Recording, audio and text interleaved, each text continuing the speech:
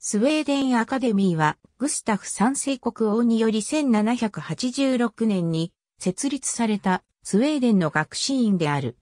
グスタフ三世がフランス文化の愛好者であったため、フランス学士院に倣っての設立であった。その大部分がグスタフ三世自身によって書かれた学士院規則にもフランス学士院の影響が見られる。スウェーデンアカデミーはノーベル文学賞の選考委員会を兼ねることでも知られ、選考結果の発表には国内のみならず、海外からも多くのメディアが集まる。また、北欧諸国の作家を対象としたスウェーデンアカデミー北欧賞を主催している。スウェーデンアカデミー設立の目的は、スウェーデン語の純正、健全、高雅、すなわち明瞭性、表現力、辛抱のために活動することにある。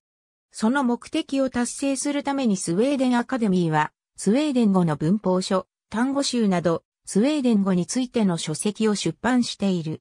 特に、スウェーデンアカデミーのスウェーデン単語集は、行政文書等の公文書に限らず、各種の学術論文を執筆する際のガイドラインとなっている。言語学の分野だけではなく、スウェーデンの古典文学の出版も行っており、アウグスト・ストリンドベリやセルマラーゲルレーブの作品を出版している。アカデミーがノーベル文学賞の選考委員会も兼ねるようになったのは19世紀末の1900年であり、アカデミーの歴史の中では比較的新しい時代のことである。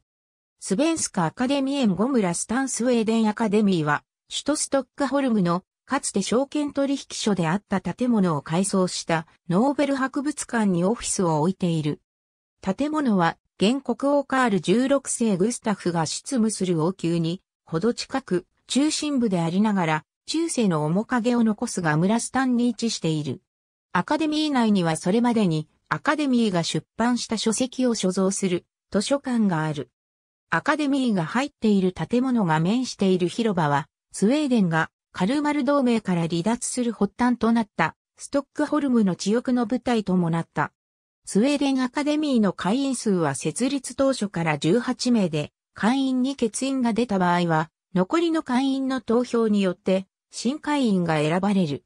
その結果は公表前にアカデミーの保護者たるスウェーデン国王に報告され、現在でもその承認を受ける慣例になっている。